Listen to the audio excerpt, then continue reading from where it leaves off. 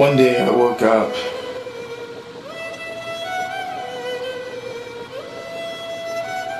And I felt tough.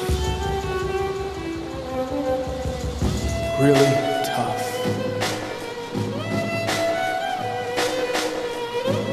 What's going on?